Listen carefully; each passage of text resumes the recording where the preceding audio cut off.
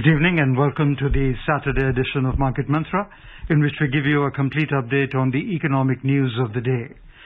Today we'll also be taking calls from you, our listeners, on any queries that you may have on business, economic, and stock market matters.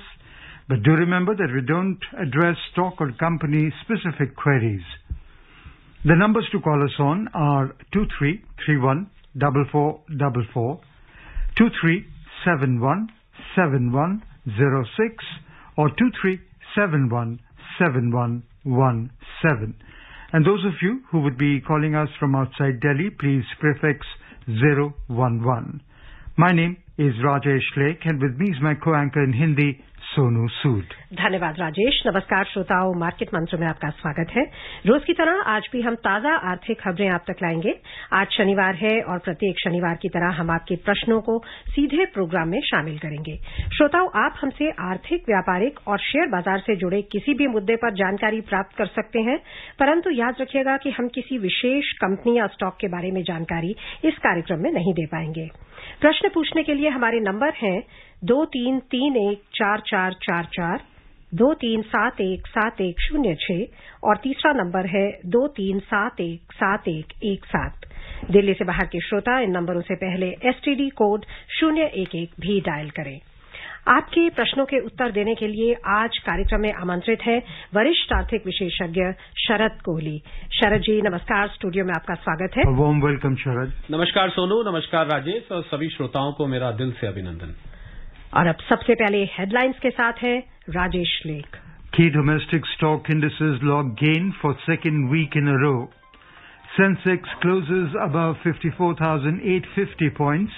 Nifty settles above 16,350 mark. And the US share market witnessed robust gains. प्रमुख घरेलू बाज़ार सूचकांक लगातार दूसरे सप्ताह बढ़त में रहे। सेंसेक्स चौवन हज़ार आठ सौ पचास के ऊपर बंद हुआ, निफ्टी सोलह हज़ार तीन सौ पचास को पार कर गया, और अमरीकी शेयर बाजारों में तेज़ी हुई दर्ज।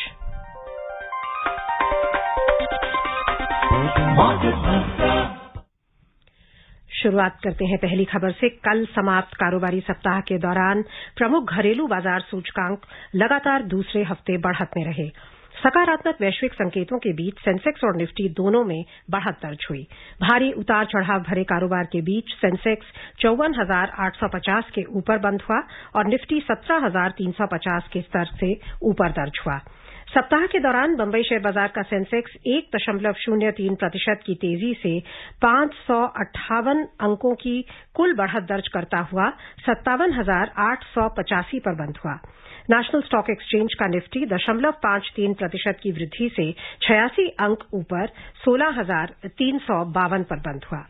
व्यापक बाज़ार की बात करें तो यहाँ प्रदर्शन तुलनात्मक रूप से निराशाजनक रहा।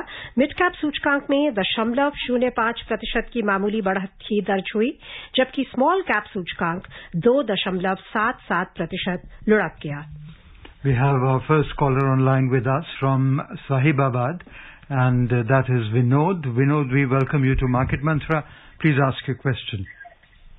Thank thank you sir professor doctor Kohli and market Mantra team से मेरा नमस्कार नमस्कार मेरा सर एक सवाल है मैं सीनियर सिटीजन हूँ और जो रिज़र्व बैंक ऑफ़ इंडिया के या गवर्नमेंट सिक्योरिटी बॉन्ड्स को लेने का क्या प्रोसीजर है और क्या उसका रेट ऑफ़ इंटरेस्ट चल रहा है क्योंकि फिक्स डिपोजिट बैंक में तो रेट ऑफ़ इंटरेस्ट बहुत कम मिलता है हम लोगों को कंपेरेटिवली तो उसको कैसे लिया जाता है रेट ऑफ़ इंटरेस्ट फ़िलहाल क्या चल रहा है उन बॉन्ड्स में, और उनका क्या फ्यूचर में एक दो महीने में बढ़ने की कोई संभावना है इंटरेस्ट रेट देखिए विनोद जी जो आरबीआई और बाकी ट्रेजरी बिल्स आपको याद होगा, पीछे सरकार ने रिटेल निवेशकों के लिए खोला था। तो वो एक सुविधा दी गई थी जिसमें दस हज़ार रुपए से भी आप स्टार्ट करके निवेश कर सकते हैं। ये सुविधा पहले बड़े निवेशकों के लिए थी, पाँच करोड़ या उससे ऊपर के लिए थी। बिल्कुल आप ले सकते हैं। इसको आप वेबसाइट पर जाके आरबीआई की वेबसाइट है और भी जो जहाँ ट्रेजरी बॉन्ड्स समय समय पर इशू होते हैं वहाँ वेबसाइट पे जाके आपको जब जब इशू खोला होगा आप उसको देख सकते हैं। लगभग लगभग पूरे साल कुछ ना कुछ खुला रहता है। जहाँ तक बात इंटरेस्ट रेट्स की है आ, मेरे हिसाब से मेरा अनुमान यह है कि इंटरेस्ट इस समय छह और सात परसेंट के बीच में चल रहा है। जी हाँ आगे आने वाले दो तीन महीने में अगर रिज़र्व बैंक जो रेपो रेट है जो कि उम्मीद की जा रही है जून की एमपीसी में वो और इसको बढ़ाएँगे तो अगर वो बढ़ाते हैं तो आपको कुछ बेसिस पॉइंट बीस, तीस बेसिस पॉइंट आपको ये बढ़ता भी दिख सकता है। आप कुल मिला के देखें तो बैंक के रेट से करीब करीब मैच करता है या थोड़ा सा बैंक के रेट से फालतू भी मिल जाता है कई बार। और आप इसको लंबी अवधि के लक्ष्य रखें तो आपको कंपाउंड इंटरेस्ट बेनिफिट भी मिल जाता है। तो बहुत अच्छा विकल्प है, बहुत अच्छी सोच है। मैं पूरी तरह से आपके साथ हूँ, आप इसमें निवेश करिए। और आइए अब चलते हैं कोलकाता जहाँ से सुमन चौधरी है हमारे कॉलर आपका बहुत बहुत स्वागत है। सवाल पूछिए। नमस्कार मैडम। नमस्कार। मैडम मैं पूछ रहा था मैं पेशे से ड्राइवर हूँ हाँ लेकिन इनकम तो उतनी है नहीं जो मैं रोज इन्वेस्ट करूँ। तो हम सोचते हैं अगर एक बार पचास हज़ार रूपया पाँच साल या दस साल के लिए इन्वेस्ट किया जाए तो इससे हमें मतलब क्या फ़ायदा मिलेगा? सुमन जी, बहुत अच्छी आपकी सोच की मैं पहली बात तो सराहना करता हूँ, इसलिए कि आप आगे के लिए सोच रहे हैं। देखिए, कोई भी जो प्रोफेशन होता है, हम, उन सब प्रोफेशन हमारे लिए तो बहुत इज़्ज़त वाले हैं, आप गाड़ी ड्राइव करते हैं, बहुत इज़्ज़त का प्रोफेशन है।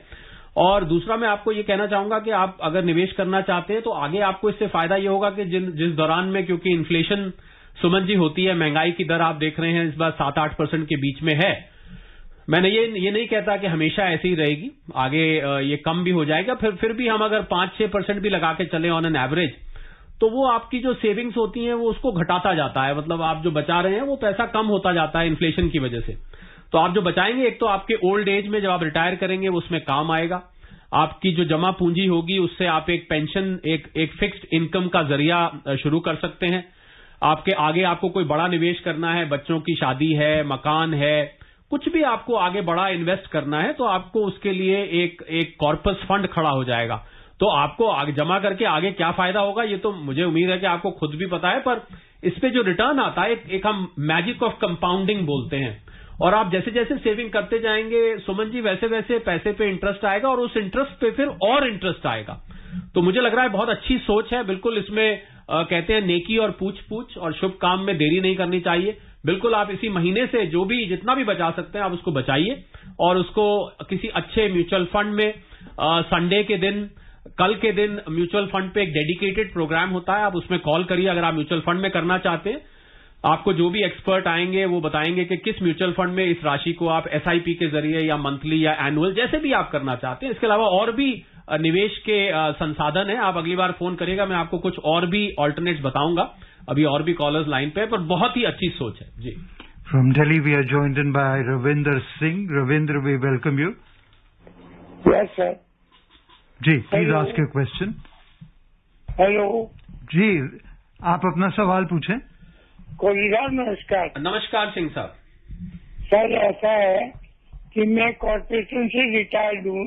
सीनियर सिटीजन हूँ जी अब तो एक कॉर्पोरेशन एक होगी हमारी पेंशन जी पाँच पाँच छह छह महीने नहीं आती है बहुत है तो अब ये हम सेंट्रल गवर्नमेंट में मरने जाएँगे आ, मुझे थोड़ी आवाज़ आवाज़ थोड़ा एक बार आप रिपीट कर रविंदर जी थोड़ा सा रिपीट करेंगे मे बी हाँ तो वो कॉरपोरेशन में थे बट ही वॉज़ सिंग क्या हम अब सेंट्रल गवर्नमेंट में माने जाएँगे? समथिंग टू दैट इफ़ेक्ट नहीं देखिए अगर आप ये दिल्ली की बात कर रहे हैं तो दिल्ली में अभी तीन कॉरपोरेशन को 22 मई को मर्ज करके एमसीडी में कर दिया गया। जी नहीं जो कॉरपोरेशन का जो बेसिक स्ट्रक्चर है मतलब जो आपकी एम्प्लॉयरशिप जिसको हम कहते हैं वो तो वही रहेगी वो सिर्फ़ तीन कॉरपोरेशन मिलकर एक हो गई है। और दिल्ली तो आपको पता है एक पार्शियल स्टेट है और कॉरपोरेशन तो दिल्ली सेंट्रल गवर्नमेंट के अंतर्गत आती हैं। तो इसलिए आप बिल्कुल वही आपके वो स्टेटस चेंज नहीं होगा अगर आप ये पूछ रहे थे पर क्योंकि शब्द बहुत स्पष्ट नहीं थे तो रविंदर जी हम क्षमा मांगते हुए आपसे कहेंगे आप अगली बार ज़रूर पूछेगा आपको प्रणाम है आप सीनियर सिटीजन है हमें बहुत खुशी होती है जब इतने तजुर्बेकार लोग हमको फ़ोन करते हैं। और अब जितेंद्र हैं जयपुर से हमारे साथ बहुत बहुत स्वागत सवाल पूछे। हाँ थैंक यू मुझे याद है सर, कोहली सर, पाँच छह महीना पहले आप बोल रहे थे कि देश के मतलब निकलने के लिए जो भी था, हमको कई बार इस मैटर पे बात हुई, आप बिल्कुल हंड्रेड परसेंट सही बोल रहे थे तो आज वो स्थिति है। तो अब हमको ये बताए कि क्या इसमें अब एंट्री करना चाहिए अभी के मार्केट में लॉन्ग टर्म के हिसाब से, और मेटल सेक्टर में क्या एंट्री कर लेना चाहिए? जी हाँ जितेंद्र जी, देखिए बात ठीक निकली और क्योंकि ऐसा अंदाज़ा लग रहा था जो इंडिकेटर्स आ रहे थे। और अभी जी हाँ बहुत अच्छा टाइम है लेने के लिए, पर बहुत सिलेक्टेड आप फिक्स कर सकते हैं और ऐसा नहीं करिएगा जितेंद्र जी कि जितना भी पैसा है, उस सारे पैसे से आप एक ही बार में ले लें। मैं आपको सलाह ये दूँगा कि अभी जैसे मार्केट में करेक्शन आया है, कुछ अभी लीजिए और थोड़ा वेट करिए। अगर मार्केट थोड़ी चढ़ भी जाती है यहाँ से, जो कि मार्केट थोड़ी स्टेबलाइज होती दिख रही है, थोड़ा उसके अगर चढ़ भी जाती है, फिर ले लीजिए। तो इसको एसआईपी के ज़रिए मतलब आप या तो पंद्रह दिन या हफ़्ते का कुछ प्लान बनाइए कि थोड़ा थोड़ा पैसा करके उसको लगाते जाएँ। बहुत अट्रैक्टिव वैल्यूएशन पे इस समय शेयर्स मिले। लोग शिकायत करते थे कि जो वैल्यूएशन बढ़ी हुई है इतनी और इतने महँगे हो गए हैं, इससे ऊपर जाएँगे। तो देखिए, अब ये शेयर मार्केट आपको मौका देती है। हम तो करेक्शन को लाभ ही मानते हैं क्योंकि फिर से मौका मिलता है नए लोगों को एंटर करने का, पुराने लोगों का फिर से प्रॉफिट बनाने का। तो बिल्कुल आप सेलेक्ट करके लीजिए। मेटल सेक्टर का भविष्य अच्छा है। मेटल की जिस हिसाब से दुनिया भर में आग लगी हुई है। मुझे लग रहा है भविष्य अभी फ़िलहाल अच्छा दिखता है, पर फिर भी मैं आपको सलाह दूँगा किसी सलाहकार की मदद से। और बहुत सिलेक्टिव स्टॉक्स में आप निवेश कर सकते हैं और एसआईपी के ज़रिए करिए एक साथ मत लगाइएगा। From Thane we are join by Gurunath we welcome you Gurunath please ask your question Kohli sir को भी नमस्कार। नमस्कार गुरुनाथ जी। आ, सर मेरा क्वेश्चन है सर ये जो अपना डॉलर करेंसी के बारे में। सर इसका जो स्ट्रांग करेंसी है दुनिया में मतलब अस्सी पचासी प्रतिशत तो ट्रेड इसे इसी के माध्यम से होता है। सर इसका डिमोनिटाइजेशन कितने बार हुआ है? और इसमें जो ये डॉलर है इसमें फेक डॉलर मतलब जैसे हमारे यहाँ रुपया फेक जो जाली नोटों का जो भरमार देखा जाता है। तो ऐसा कुछ देखा जाता है कि और जो जो देशों में जो फॉरेन रिज़र्व होता है उसको जांचने की मतलब कोई यंत्रणा है उस देश के होती है कि वो अमेरिका ही जांचती है कि ये फेक है असली है या नकली है। Thank you sir Gurunath ji देखिए आपने एक सवाल तो हिस्ट्री का पूछ लिया और मैं हिस्ट्री में मुझे याद है स्कूल में सबसे फिसड्डी होता था और हिस्ट्री में मेरे नंबर सबसे खराब आते थे। पर फिर भी मुझे जहाँ तक याद आ रहा है कि हिस्टोरिकली देखें तो अमेरिका में भी डिमोनेटाइजेशन हुआ है। बहुत वर्ष बीत चुके हैं उसको। मुझे एग्जैक्ट साल तो नहीं याद आ रहा। मैंने आपको पहले ही अपनी हिस्ट्री की कमज़ोरी बता दी। बाकी आपके दूसरे सवाल का मैं दुरुस्त जवाब दे सकता हूँ। वो ये है कि फेक करेंसी आपको हैरानी होगी कि जितना मात्रा में डॉलर फेक छपता है शायद दुनिया की कोई करेंसी नहीं छपती होगी। और आ, मैं विदेशों में जब मुझे मौका मिलता है ट्रैवल करने का और मैं जब अपना यहाँ से फॉरेन एक्सचेंज डॉलर कुछ लेके जाता हूँ साथ तो वो उसको अलट पलट के उनके पास मशीन्स लगी हुई है उसको स्कैन करके छू छू के ऐसे देखते हैं जैसे कि उनको लगता है कि हर डॉलर ही नकली है।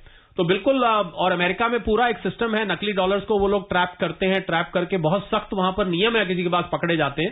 जी हाँ बिल्कुल जैसे हमारी सरकार इस, इस बारे में संवेदनशील है इस बात को लेकर दुनिया भर की सरकारें अपने नकली नोटों के लिए संवेदनशील हैं और बाकायदा उस पर नज़र रखती हैं और अपने फॉरेन एक्सचेंज रिजर्व्स और अपने जो कंट्री के करेंसी रिजर्व्स हैं उसमें उसको बाकायदा एडजस्ट करके रखती है और बहुत सख्त कानून है वहाँ पर आ, मेरी जानकारी से। मध्य प्रदेश के सागर से हैं हमारे अगले कॉलर विपिन। विपिन जी नमस्कार। सवाल पूछें। जी सर नमस्कार कोयली जी आपको भी नमस्कार। नमस्कार विपिन जी क्या हाल है? बढ़िया हूँ सर आज भी आप रोमांटिक हैं और सर आप जो प्रश्नों का उत्तर देते हैं ना जिस अंदाज और तरीके सर इसको चेंज मत करिएगा और बहुत अच्छा लगता है। मैं कभी चेंज नहीं करूँगा आप पूछिए। और सर मैं ये बोलना चाहूँगा कि आप जहाँ जहाँ जाते हैं मुझे आपको सुनने में अच्छा लगता है। संडे की शाम को संदीप के साथ आपको देखा मुझे बहुत अच्छा लगा सर। चलिए सवाल पूछिए विपिन जी। जी सर मेरा सवाल ये था सर की मेरी एज अभी ट्वेंटी है और सर लाइफ इंश्योरेंस लेना था सर तो उसके बारे में कोई आप सलाह दे सकते हो तो बता दीजिए सर। मतलब लाइफ इंश्योरेंस कंपनी के जो शेयर्स लिए हुए उसकी बात कर रहे हैं आप? बीमा होता है ना जो जैसे एल आई सी वगैरह की तो ऐसे बीमा मतलब करवाना था सर छोटी अच्छा, छोटी बीमा करवाना अच्छा बीमा करवाना बीमा तो विपिन जी ज़रूर कराइए। एल आई सी का तो ध्येय है ज़िंदगी के साथ भी ज़िंदगी के बाद भी और अब तो बहुत सारे प्राइवेट बीमा कंपनी भी हैं। देखिए विपिन जी हम यहाँ पर कंपनी विशेष का नाम तो नहीं लेते हैं मैं आपको नाम लेके कहूँ कि आप इसका इसका करा लें उसका करा लें पता तो मुझे बहुत सारे हैं। पर नियम अनुसार हम मैं आपको सलाह दूँगा जो बीमा आप कराएँ वो इतना हो कि आपकी इनकम जो सालाना आती है, मैं एक फॉर्मूला बता देता हूँ। उस इनकम को कम से कम 10 से 15 गुना वो कवर करे। मतलब अगर आपकी आय पाँच लाख रुपए की है तो कम से कम आप 50 या 75 लाख रुपए का बीमा ज़रूर कराएँ। एक फॉर्मूला मैंने आपको बता दिया, और आप अगर एंडाउमेंट पॉलिसी लेंगे तो बहुत ज़्यादा महँगी भी नहीं होती, उसका प्रीमियम ज़्यादा नहीं होता। बहुत सारे तरीके की बीमा आती हैं मनी बैक आता है एंडाउमेंट आता है, कुछ यूनिट से लिंक्ड भी होता है। तो आप किसी, अपने आपके शहर में आप आप सागर से हैं तो आप अपने शहर में किसी बीमा एजेंट को फ़ोन करें वो आपके घर आएगा आपके साथ बैठ के चाय पिएगा और आपको बहुत अच्छे अच्छे ऑल्टरनेट बताएगा। Jagdish now joins us from Delhi Jagdish we welcome you hello जी जगदीश। हाँ जी गेस्ट गेस्ट जो स्टूडियो गेस्ट रहते हैं नमस्कार। नमस्कार जी। जी मेरे छोटे छोटे बिल्कुल कॉमन तीन क्वेश्चन है। एक तो अपना क्राउड फंड के बारे में जानना चाह रहा था क्या इसको मतलब हमने हमारी कंट्री में या आरबीआई इसको वैलिड मानता है? और दूसरा एक क्रिप्टो करेंसी और जो अपना ये बिटकॉइन होता है, क्या इसको अपना, इसको भी अपने कंट्री में वैलिड माना जाता है नहीं? देखिए crowd funding Jagdish ji normally हम लोग अभी फ़िलहाल यूज़ करते हैं स्टार्टअप इकोसिस्टम में। क्योंकि जब कोई स्टार्टअप आता है तो वहाँ पर जब कोई प्रोजेक्ट होता है क्राउड फंडिंग होती है। जब इन्वेस्टर्स आते हैं छोटे छोटे इन्वेस्टर्स मिलके एक प्रोजेक्ट में जब इन्वेस्ट करते हैं, खासकर स्टार्टअप में तो उसको क्राउड फंडिंग कहते हैं। बिल्कुल इंडिया में मान्य है, कोई मनाई नहीं अगर आप स्टार्टअप में एक एक एंजल के रूप से जाएँ या आपके पास निवेश करने के लिए स्टार्टअप में है पर उसके लिए आपको पहले थोड़ी रिसर्च थोड़ी जानकारी हासिल करनी पड़ेगी। मेडिकल पर्पसेस के लिए भी शायद क्राउड फंडिंग वहाँ भी होती क्राउड फंडिंग का अगर हम जनरल अर्थ ले तो कुछ लोग मिलके जब उसको एक चीज़ में करते हैं। क्रिप्टो अभी भारत में मान्य नहीं है हालाँकि उस पर टैक्स लगा है पर भारत में इसको पूरी तरह से अभी वैधता नहीं मिली है। पूरी तरह से लीगल नहीं है इसके ऊपर पूरा विचार चल रहा है।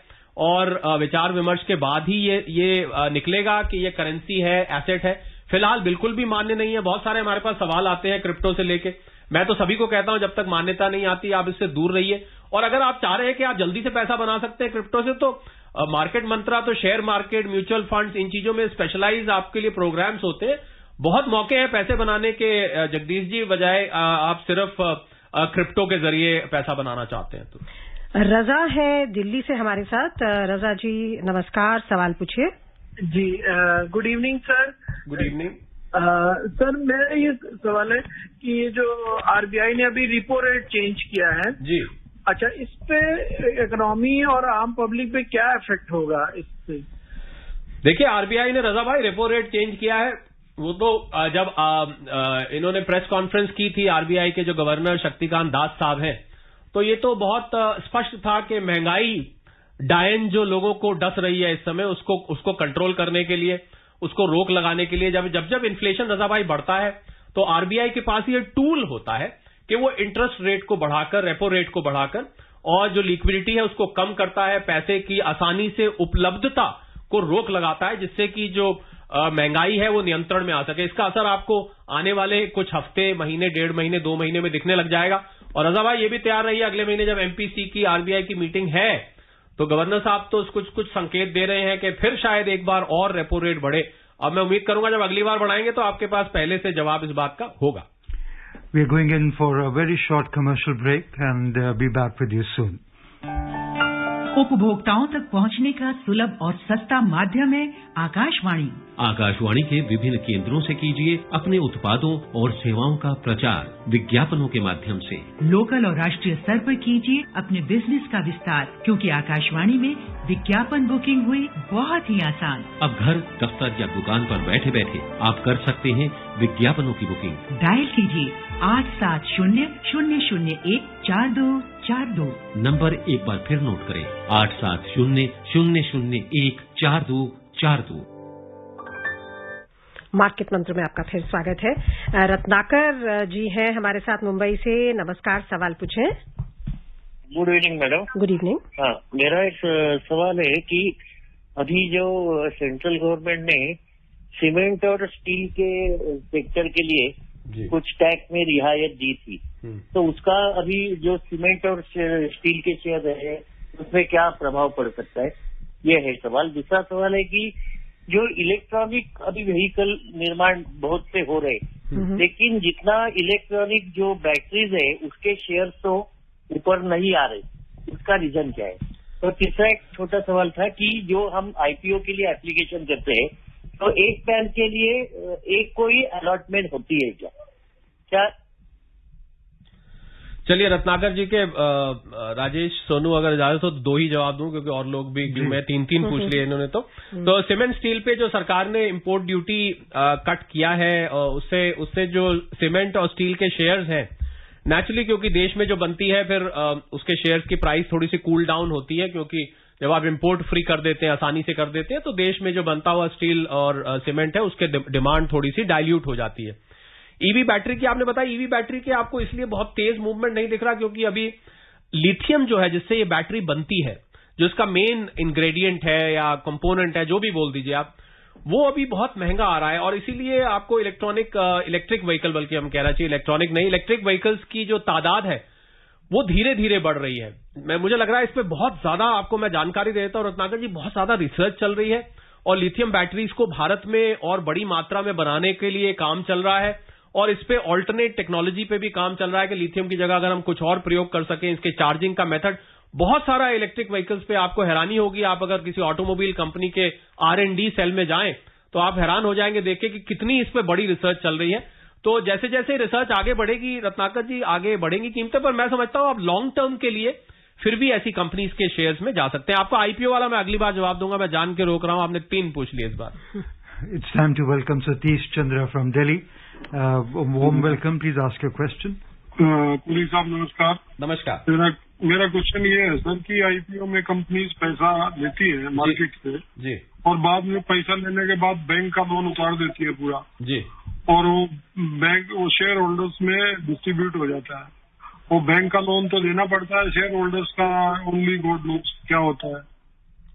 पहला मतलब इस पे कोई रेस्ट्रिक्शन है कि ऐसे आईपीओ से पैसा लो और फिर बैंक का लोन उतार दो? उस पर कोई कैप है? देखिए सतीश जी जब आईपीओ से पैसा कलेक्ट होता है तो जो रेड हेरिंग प्रोस्पेक्टस बनता है जिसको हम डीआरएचपी कहते हैं उसमें सेबी को आपको ये स्पेसिफाई करना पड़ता है कि आप इन फंड्स का क्या, क्या प्रयोग करेंगे। तो इसमें कोई मनाही नहीं है। अगर कोई कंपनी अपने आप को डेट फ्री करना चाहती है तो मैं समझता हूँ एक निवेशक के नाते सतीश जी, जिस कंपनी में आपने निवेश किया हुआ है, अगर उसके ऊपर कर्ज नहीं है तो ये एक फंडामेंटली अच्छी कंपनी बन जाती है। मतलब उसके पास कोई कर्जा, कल को कोई बात होती है तो उसका कोई क्रेडिटर नहीं है, उस टाइप से मतलब कोई लोन में कोई क्रेडिटर नहीं है। तो ये एक हेल्दी सिम्टम माना जाता है, और अगर आईपीओ लेके और डेट फ्री कंपनी करती है, बहुत बड़ी बड़ी कंपनीज़ ने भी किया, मुझे याद आ रही है, पर हम नाम नहीं लेते और आप आप उसको एक अच्छा संकेत समझिए। और पैसा लग रहा है तो आपकी इसका मतलब आपने जो पैसा इन्वेस्ट किया है उसको बढ़ने के चांसेस ज़्यादा है क्योंकि वो कंपनी फंडामेंटली स्ट्रांग हो गई है वो डेट फ्री हो गई है तो इसको आप इस तरीके से पॉजिटिवली समझ सकते हैं। अगले कॉलर है भारत भूषण दिल्ली से। भारत भूषण जी आपका स्वागत है सवाल पूछे जी नमस्कार मैडम। नमस्कार। और शरद सर नमस्कार। नमस्कार। सर मेरे दो प्रश्न हैं।